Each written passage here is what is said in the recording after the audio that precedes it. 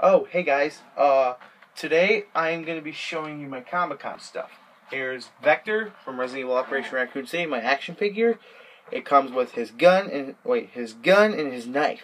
Gives you a biography on the back. I got this at Wizard World. Next is my stay up there. Next is the Spyro's Greek Myths and Greek Heroes. They're both autographed, and this one just has his autograph. This one has my name in it. So they're a good series. I would recommend it. Next is the Guardians of the Galaxy poster that I got for $15. This is one of my all-time favorite posters. So I got it for 15. This is the prototype poster. We got Star-Lord, Drax, and Rocket Raccoon and Ronan at the top. So that's that. Next is the There's another one. That's my Rocket Raccoon poster from his wanted poster actually. So we got that and Rocket's actually my favorite Marvel character. Alright, next is my favorite stuff. This right here happens to be one of my other personal favorites. This is my Chandler Riggs Walking Dead autograph. He signed it with my name, and I was happy to meet him. So, yes, I met Carl from The Walking Dead. Okay, next is my Tony Moore signature.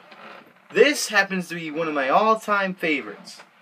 This is Jaws, basically. There's the girl. He designed this. And I got to meet him. He was a nice guy, and I gotta say, meeting him was the greatest time of my life. And finally, my favorite. Everyone knows that I love Defiance. Well, yeah, duh. So, basically, this is my Grant Bowler aka Josh Nolan autograph. He signed it in the trees for some reason, right here.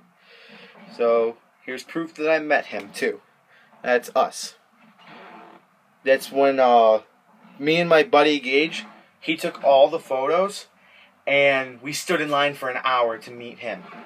And this photo I'm gonna cherish forever. And he actually did a that's his one of his Josh Nolan looks. So I was happy to meet that guy. And it says to RJ, thanks for watching, Grant.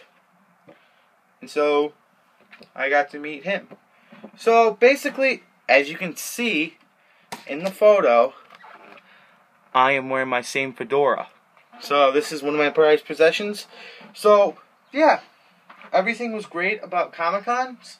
I suggest my subscribers go to one. And next one I'm going to is on my birthday. So I'll see you guys later. Bye.